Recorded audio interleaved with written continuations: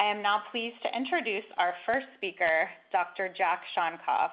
Dr. Shonkoff is a pediatrician and leader in the field of early childhood development. Dr. Shonkoff is the Julius B. Richmond Family Professor of Child Health and Development at the Harvard Chan School of Public Health and Harvard Graduate School of Education, Professor of Pediatrics at Harvard Medical School and Boston Children's Hospital, research staff at Massachusetts General Hospital, and director of the Center on the Developing Child at Harvard University. We are so honored and grateful that he's here with us today to share his work, and I will turn it over to him now. Dr. Shonkoff? Thank you very much, Catherine. It's really a pleasure to be here with you today. So let me, whoops, to go back. Sorry about that.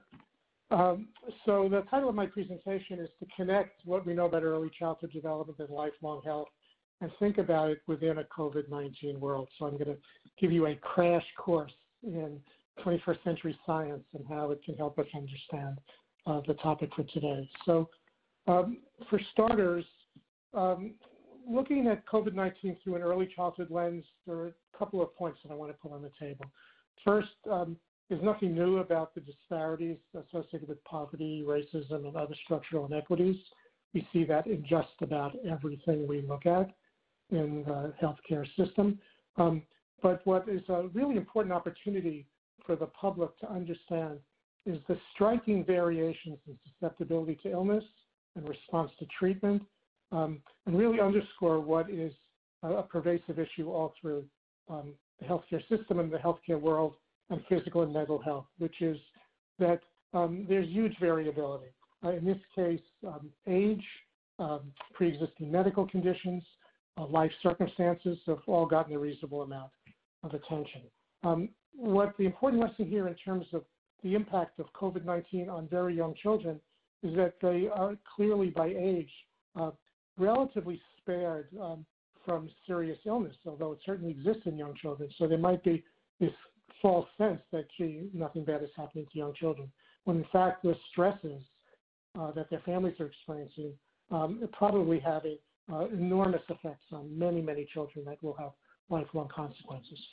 The next issue to, to kind of highlight here is that um, the health and well-being of young children is inextricably tied to the health and well-being of the adults who care for them. So just about any question that anyone will ask, which is, so how, what can we do to protect very young children from the consequences of this level of adversity? What, how can we minimize the risk for later problems? The correct answer, no matter where the, the issues are coming from, is always children's, very young children's health and well-being is tied into the ability of the adults who care for them to buffer them from adversity, to provide a well-regulated caregiving environment in which healthy development can unfold. The third issue here, which has actually gotten very little attention in all of the public press about the um, the, uh, the, the underlying risk conditions for serious consequences from COVID-19, is that the pre the most common pre-existing medical conditions that impose the highest risk, um, largely obesity, metabolic syndrome, uh, heart disease, diabetes. We've all heard about this over and over again all of these adult medical conditions are associated with greater adversity early in life. Something to kind of really think about in terms of uh, young children today who are not physically ill, but whose families are experiencing enormous pressures, kind of incubators for increased prevalence of many of these chronic diseases later in life. And I'm, in a minute or two, I'm going to walk you through the underlying science that helps us understand how that happens. Uh, uh, so uh, 21st century science, particularly the biological sciences, has been exploding uh, over the last few decades and is deepening our understanding about the origins of disparities, both in early learning, early behavior, as well as lifelong physical and mental health. And there are three take-home messages that I want to kind of share with you um, this afternoon. The first is the early childhood field has been heavily influenced for the last 20 years by the explosion of neuroscience with our understanding of how much early experiences shape brain architecture and how excessive, uh, what we call toxic stress, disrupts the circuitry of the developing brain. Well, the science is now very clear that the brain is connected to the rest of the body. So the impact of early adversity is not only well documented in terms of its effects on brain development, but also now increasingly we're learning more about its effects on the immune system, the effects on metabolic regulatory systems, which is opening up that black box of why is it that children who experience excessive amounts of adversity early in life, on average, are more likely not only to have problems um, with early learning and readiness to succeed in school, which is where the early childhood policy field has been focusing, but also these are the building blocks of the most common chronic diseases that we see decades later in life. The second uh, concept, take home message, is the importance of understanding the critical influence of variation in sensitivity to the environment. This is an issue related to risk stratification. It is certainly true on average that young children who are experiencing significant adversity will be more likely to incur health problems later in life. But, but the underlying biology is crystal clear that the name of the game is variation in sensitivity to the environment. The interaction between not only environmental exposures, but genetic differences on an individual basis. There are children from birth who are genetically more sensitive to the environment around them, more sensitive to experiences. And in tough environments, they are much more likely to have problems. And in, in, in, in well resourced growth promoting environments, they're actually more likely than average to thrive. These are children who are extremely sensitive to differences in the environment, which also includes programs and treatments. So there will be differential response to treatments and interventions. We have to recognize this is the underlying scientific explanation is there is no one size fits all, both for exposures or for treatments. And in fact, uh, the way we will improve our impacts at scale at a population level is to ask the question not whether interventions work or not, but for whom do they work, for whom do they not. Uh, I think this audience understands this quite well because you understand the revolution that's driving uh, precision medicine approach to treatment of disease in adults now. It's not a matter of just picking the one exposure or the one best intervention. The third issue uh, that science is telling us about how we ought to think about early childhood is the, the importance of critical and sensitive periods in development.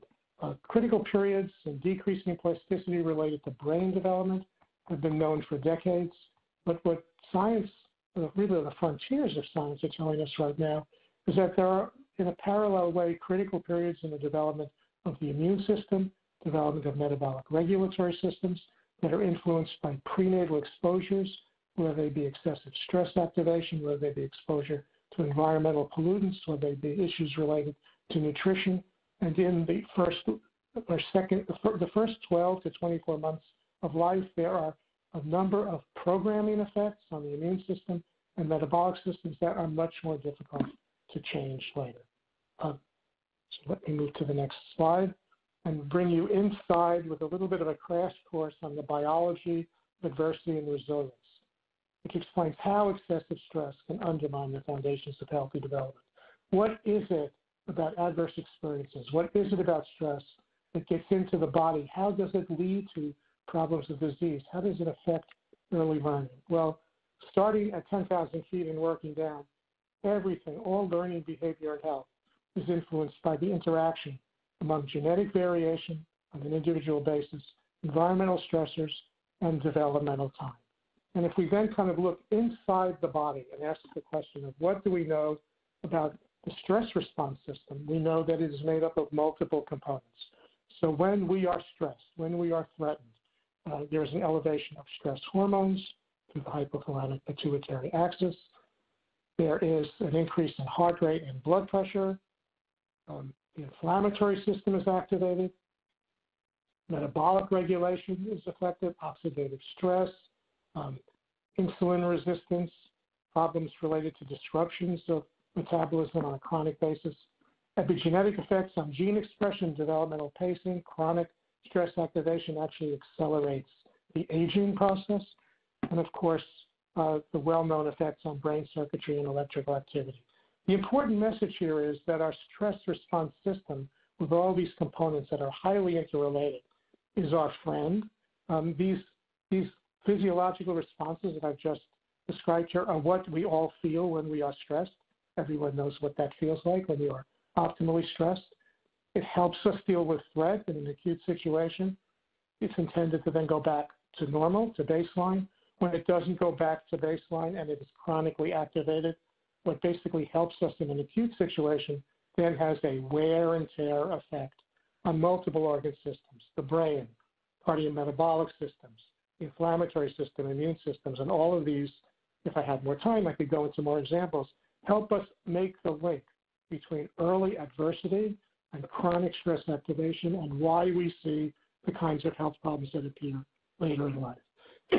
so let me just end this presentation by trying to make the link between why investments in early childhood are not only important for early learning and readiness to succeed in school, um, which is more on the kind of the protection side and on the enrichment side, providing enriched experiences to promote early literacy. But what the science is telling us is that early investments that protect biological systems from toxic stress, investments that help to strengthen the ability of adults to buffer children from the adversity around them, to help scaffold and uh, help the development of the building blocks of resilience in children very young. Resilience is built over time. It's not wired in automatically at birth. Investments early on that will protect these systems will generate a substantially larger return on investment than just when we look at the return on educational achievement and economic productivity. You can see from this chart that three of the five most costly adult diseases that you are all very familiar with are associated with early life adversity. They are much more prevalent among adults who early in infancy had excessive activation of their stress response systems. So the message here is the take-home message is that science-informed investments that reduce hardships and adverse exposures faced by pregnant women and families raising young children offer a promising pathway to enormous savings in healthcare costs decade later as a result of helping to protect these developing systems from excessive stress activation. Um, for those of you who want more information, um, here's the website for our center, developingchild.harvard.edu. We have a, a extensive materials translating science for non-scientists.